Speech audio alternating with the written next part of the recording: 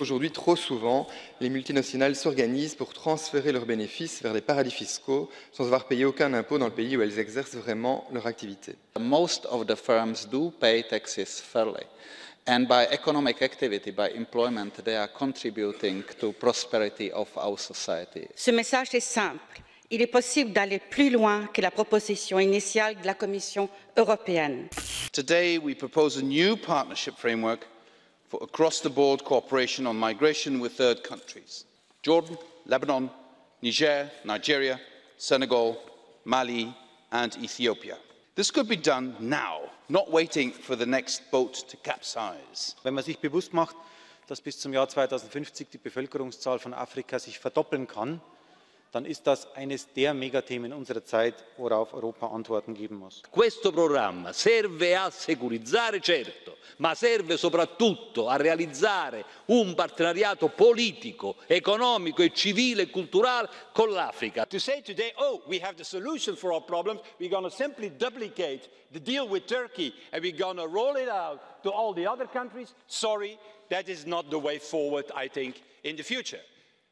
It's simply saying, okay, we give you money and you keep the refugees. Legal migration must not be done on the cheap and on the quick. We must do it properly so that we have a proper mutual understanding with the sending countries, no cherry picking. So far, we have used 12.8 billion to infrastructure and innovation window, but also to SME financing.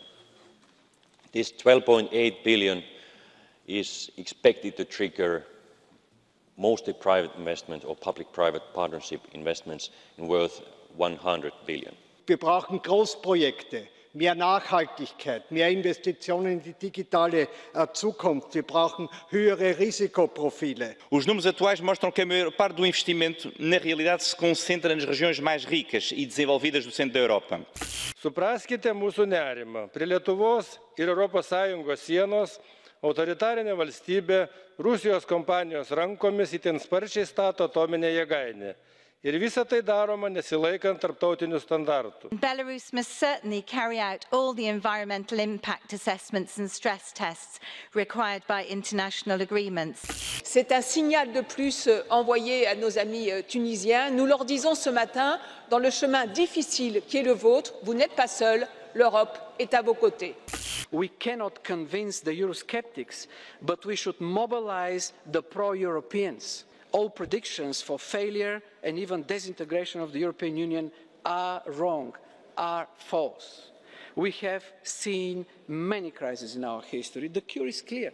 More solidarity, humanity and empathy, more rule of law, more synergies, more education, more integration. Seems to be countering my other present.